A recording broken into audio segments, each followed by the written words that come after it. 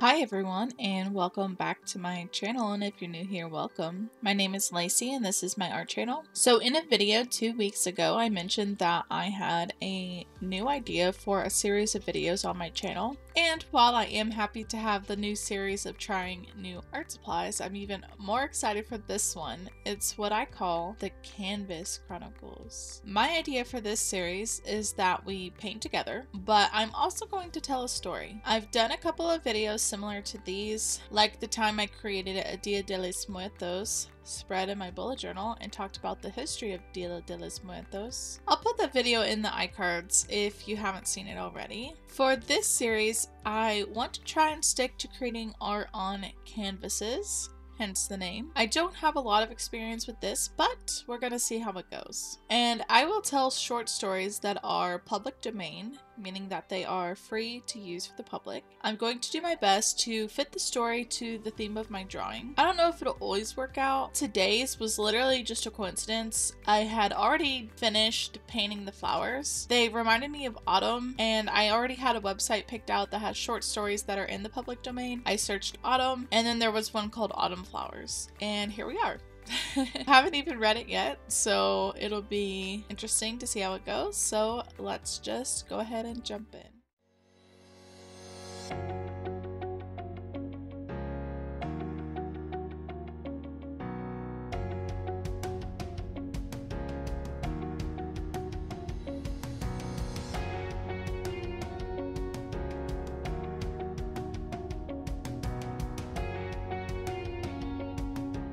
Autumn Flowers by Alexander I. Kuprin. Published 1905. Translated from Russian by Douglas Ashby. My dear angry friend, I write angry because I can imagine first your stupefaction and then your anger when you receive this letter and learn by it that I have not kept my word, that I have deceived you, and have suddenly left the town instead of waiting for you tomorrow evening in my hotel, as had been decided. My darling, I have simply run away from you, or rather, from us both. I have run away from that torturing, that awkward and unnecessary tension which unfailingly would have sprung up between us again. And don't hasten, with that caustic smile of yours, to accuse me of a saving wisdom, for you know more than anyone on earth, how that leaves me when I am most in need of it. God is my witness that, up to the last minute, I did not know whether I should really go or not. Even now, I am not at all sure that I shall resist to the end the intolerable temptation to have one more look at you. If only one more, even fugitively, even from a distance. I don't even know that I shall keep myself sufficiently in hand not to jump out of this railway carriage after the third bell. That is why, when I have finished this letter, if I can only manage to finish it, I shall give it to a porter and tell him to post it at the very moment when the train starts. And I shall watch him from the window and feel as if I were actually saying goodbye to you. That painful oppression of the heart. Forgive me. All that I told you about lemons and, and sea air and doctors who wanted to send me here from Petersburg was untrue. I came here solely because I was irresistibly drawn to you, aching to recapture a poor little particle of that burning, dazzling happiness which sometimes we reveled in prodigally and carelessly, like czars in fairy tales. From what I have told you, I think you must have gathered a rather clear picture of my mode of life in that gigantic zoo, which is called Petersburg Society. Visits, theaters, balls, my compulsory at home days, the charity bazaars, etc., etc in all of which I must play the role of a decorative advertisement to my husband's career and business affairs. But please don't expect from me the usual tirade about the meanness, the emptiness, the flatness, the falsehood. I've forgotten how they put it in our society novels. I have been drawn into this life with its comforts, its good manners, its novelties, its connections, its associations, and I should never have the force to tear myself away from it. But my heart has no share in it. Some sort of people flash before my eyes, repeat some sort of words, and I myself do things of some sort, talk about something, but neither the people nor the words reach my soul. And sometimes all this seems to be happening far, far away from me, as if in a book or a picture, as though it were all arranged, as Damnushka, my old nurse, used to say. And suddenly, in this dull, indifferent life, I was caught up by a wave from our dear sweet past. Did you ever happen to wake up from one of those strange dreams which are so joyous that after them one goes about the whole day in a state of blissful intoxication, and which are at the same time so feeble in themselves that if you repeated them, not merely to a stranger, but to your dearest friend on earth, they would sound null and flat, almost grotesque. Dreamers often lie, says Shakespeare Mercutio, and my God, what a deep psychological truth there is in that. Well, then I too once woke up after such a dream. I saw myself in a boat with you, somewhere far out at sea. You were holding the oars, and I was lying in the stern looking up at the blue sky. That was the whole dream. The boat was rocking slightly, and the sky was so blue that sometimes I seemed to be looking into a bottomless abyss. And a kind of unattainable feeling of joy permeated my soul with such tenderness, such harmony, that I wanted to cry and laugh at the same moment from too much happiness. I woke up, but the dream remained in my soul as if it had taken root in it. With a little effort of imagination, I was often able to recall it and to recapture a pale shadow, at least, of my dream.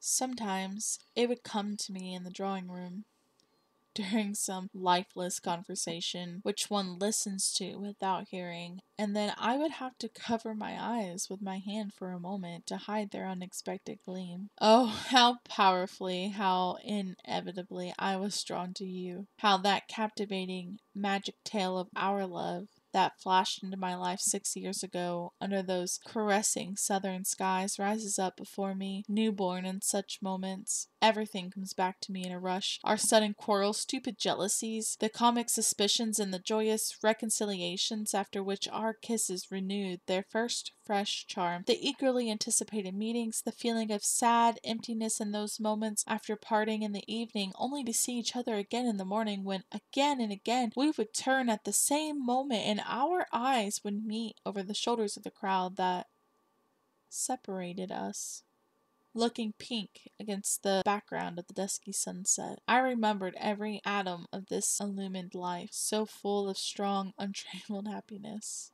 We couldn't remain in the same spot. We were drawn eagerly to fresh places and fresh impressions. How charming they were, our long trips in those antediluvian stuffy diligences covered with dirty sailcloth in the company of gloomy Germans with red sinewy necks and faces that looked as if they had been roughly carved out of wood, and the lean, prim German women who stared at us with stupefied eyes and they listened to our mad laughter, and those haphazard lunches at some old good honest settler's under the shade of the flower laden acacia, hidden away in a clean yard that was surrounded by a white wall and covered with sand from the seashore. Don't you remember them? How ravenously we used to attack the stuffed mackerels and the rough sour wine of the country, indulging in thousands of funny, tender little bêtises like that historic impertinent kiss which made all the tourists turn their backs on us with indignation, and the warm July nights in the fishing villages. Do you remember that extraordinary moonlight, which was so bright that it seemed fantastic and unreal, that calm, irradiated sea with ripples of silvery moire, and on the lit up background the dark outlines of the fishermen as they drew in their nets monotonously and rhythmically, all bending in the same direction?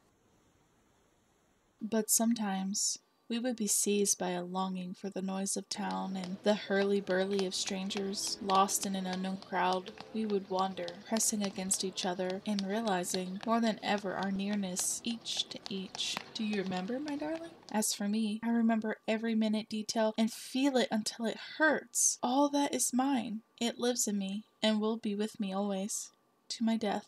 I could never, even if I wanted to, get rid of it. Do you understand? Never. And yet, it is not a reality. And I torture myself with the knowledge that I could never live it and feel it again. Because, God, or nature, I really don't know which, after giving man an almost godlike intelligence, has, at the same time, invented for him two torturing traps ignorance of the future and the impossibility of forgetting the past, with the equal impossibility of returning to it. On receiving the little note that I sent you at once from the hotel, you hastened to me. You were hurried and you were agitated. I knew it at a distance by your quick, nervous step, and also because, before knocking at my door, you stood quite a long time in the corridor. At that moment, I was equally nervous myself, realizing that you were standing there behind the door, only two steps away from me, pale, pressing your hand tightly against your heart and breathing deeply, and even with difficulty. And for some reason or other, it seemed to me then impossible, unimaginable, that at once, in a few seconds, I should see you and hear your voice. I was in a mood, such as one experiences when half asleep, when one sees things rather clearly, but without waking up, one says to oneself, This is not real. It is only a dream. You had changed during the years. You had become more manly. You seemed to have grown. Your black jacket suits you much better than your student's tunic. Your manners have become more collected. Your eyes look at one with more assurance and more coldly. That fashionable, pointed little beard of yours is decidedly becoming. You thought that I too had improved in looks, and I quite believe that you said it sincerely, all the more because I read it in your first quick, slightly surprised glance. Every woman, unless she is hopelessly stupid, will realize unerringly the impression that her appearance has produced. All the way down here in the train, I was trying to imagine our meeting. I admit that I never thought it would turn out so strange, so strained, so awkward for both of us. We exchanged unimportant, commonplace words about my journey, about Petersburg, about our health, but the eyes of each were searching the other's, jealously looking for what had been added by time, and the strange life that was completely unknown to the other. Conversation failed us. We began with vous in an artificial, affected tone, but both of us soon felt that every minute made it more difficult and more stupid to keep it up. There seemed to be between us some foreign, oppressive, cold obstacle, and we did not know how to remove it. The spring evening was quietly fading. It grew dark in the room. I wanted to ring for lights, but you protested against it. Perhaps the darkness helped us in our decision to touch upon the past. We began to talk about it with that kindly, condescending mockery with which grown up people allude to the pranks of their childhood. But the odd part of it was that the more we tried to deceive each other and ourselves and appear gay and indifferent, the sadder grew our tone. At last, we became silent and sat for a long time. I in the corner of the sofa, you in the armchair, without moving, almost without breathing. Through the open window there came to us the indistinct drone of the large town, the noise of wheels, the hoarse shrieks of the tramway hooters, the jerky bicycle bells, and, as always on spring evenings, these sounds reached us, softened into a melancholy that was almost tender. Through the window one could see a narrow strip of the sky, pale as faded bronze, and against it the dark silhouette of a roof with chimneys and a watchtower that shimmered faintly. In the darkness I could not distinguish your figure, but I could see the shining of your eyes fixed on the window, and I thought there were tears in them. Do you know what comparison occurred to me while we silently reviewed our dear touching memories? It was as though we had met, after years of separation, at the tomb of someone whom we had both at one time loved with equal fondness. A quiet cemetery, Spring. Young grass all around. The lilacs are blossoming, and we are standing beside the familiar tune, unable to go, unable to shake off the sad, confused, and endlessly dear phantoms that have claimed us. This dead being, it is our old love, my darling. Suddenly you broke the silence, jumping up and pushing your chair sharply away. No, you exclaimed, this is impossible. This is becoming torment.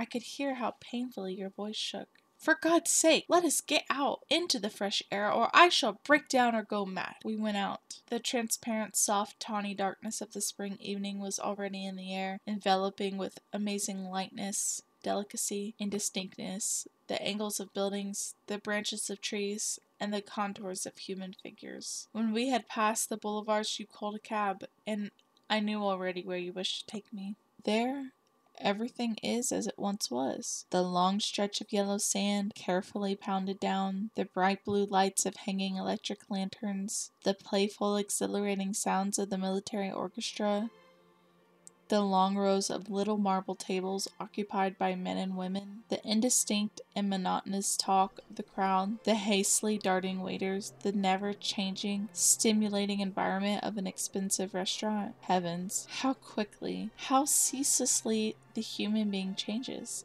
and how permanent and immovable are the places and things that surround him. In this contrast, there is always something infinitely sad and mysterious. You know, it has sometimes been my lot to stumble on bad lodgings. Not merely bad, but disgusting, utterly impossible, and in addition to this, to encounter a whole series of unpleasant incidents, disappointments, illness. When you change lodgings like those, you really think that you have entered the zone of heaven. But a week or so later, it is enough to pass by chance that very house and glance up at the empty windows with the white placard stuck on them for your soul to become oppressed by a painful languid regret. It is true that everything there was odious, distressing, but all the same, you seem to have left there a whole strip of your life, a strip that you cannot recover. Just as before, girls with baskets of flowers were standing at the doors of the restaurant. Do you remember how you used always to choose for me two roses, one dark crimson and the other tea colored?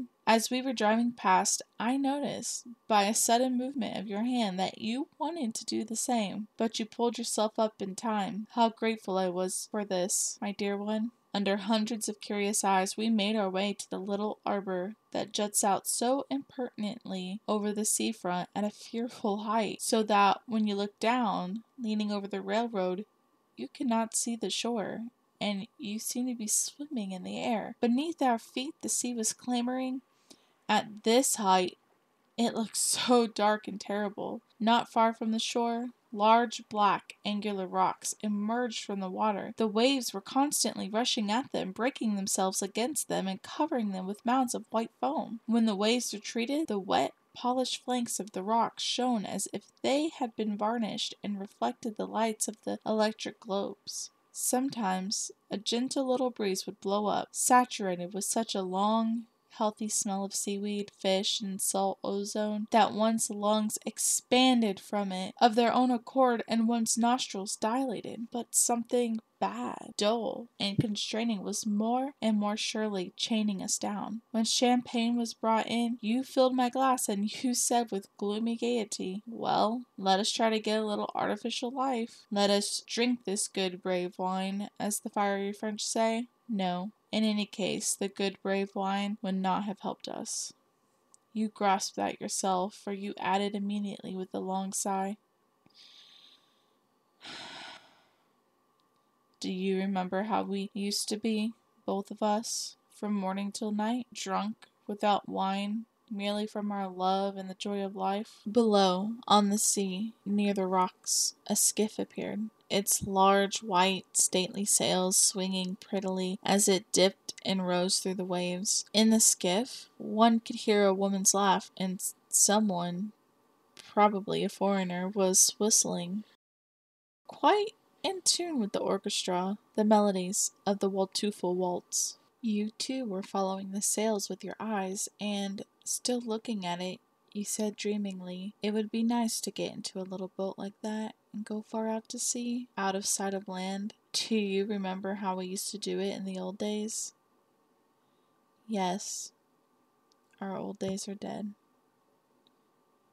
It slipped from me unintentionally in answer to my thoughts, and immediately I was frightened by the unexpected effect that the words produced on you. You grew suddenly so white and threw yourself back in your chair so quickly that I thought you were fainting. A minute later, you began to speak in a strangled voice that seemed suddenly to have become hoarse. How oddly, our thoughts have met. I was just thinking the same. It seems to me fantastic, unreal, impossible that if it was really we, not two other people, quite strangers to us, who six years ago loved each other so madly and reveled in life so fully, so beautifully, those two have long ceased to belong to this world. They have died.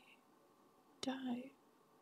We returned to the town. The road ran through cluster after cluster of villas built by the local millionaires.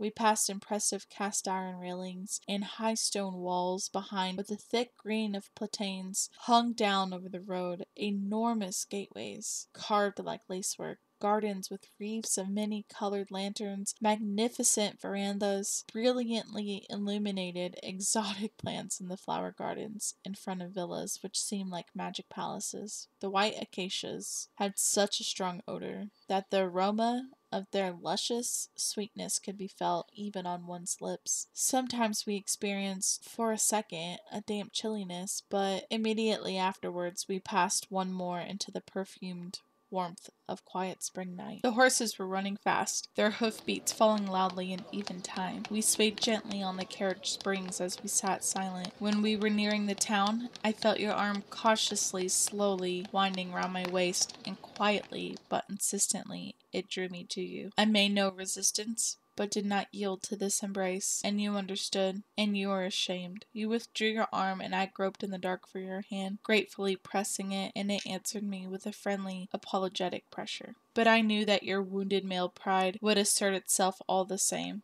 and I was not wrong. Just before we parted, at the entrance to the hotel, you asked permission to come to see me. I fixed a day, and then, forgive me, I stealthily ran away from you. My darling, if not tomorrow, then in another two days in a week perhaps, there would have flamed up in us merely sensuality, against which honor and will and mind are powerless. We would have robbed those two dead people by substituting for our love of the past a false and ludicrous make believe. And the dead people would have cruelly avenged themselves by creating between us quarrels, distrust, coldness, and, what is more terrible than all the rest, a ceaseless, jealous comparison of the present with the past. Goodbye. In the heat of writing, I have not noticed how I have passed on to the old tu of lovers. I am sure that in a few days, when the first ache of your wounded pride has passed, you will share my opinion and will stop being angry at my escape. The first bell has sounded, but I am sure now that I shall resist temptation and shall not jump out of the train. All the same, our brief meeting is beginning, in my imagination, to clothe itself in a little cloud of smoke, a kind of tender, quiet, poetic, submissive sadness. Do you remember that beautiful verse of Pushkin? Autumn flowers are dearer than the beautiful newborn ones of the fields. So sometimes the hour of parting is more vivid than the meeting itself. Yes, my darling, these very autumn flowers. Have you ever been out in a garden late in autumn on a wet, morose morning? The almost naked trees are threadbare and swing to and fro. The fallen leaves rot on the paths. On all sides is death and desolation, and only in the flower beds, above the drooping yellow stalks of the other flowers, the autumn asters and dahlias bloom brightly. Do you remember their sharp grassy odor? You are standing perhaps in a strange listlessness near the flower beds, shivering with cold. You smell this melancholy, purely autumnal odor, and you are distressed.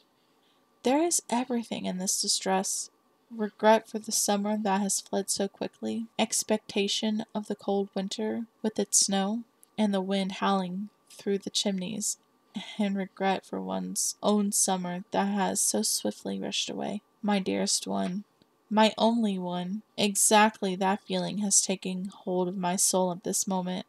In a little time, your recollection of our meeting will become for you just as tender, sweet, sad, and poignant. Goodbye, then. I kiss you on your clever, beautiful eyes. Your Z. I hope that you all enjoyed the story. I want to give a big thank you to everyone who made it to the end of the story. And I know that this is a very different type of video than I normally post, but it's a passion project of mine and I hope that all of you love it even half as much as I do. If you've made it this far, put your favorite flower emoji in the comments. Let me know how you feel about this series. I would love to know what you'd like to see me paint and I would also love to know what stories you would like for me to read. Just make sure that it's in the public domain and it's something that's not too long. I look forward to seeing all of you in the next video. Have a wonderful rest of your week. See you next time. Goodbye now.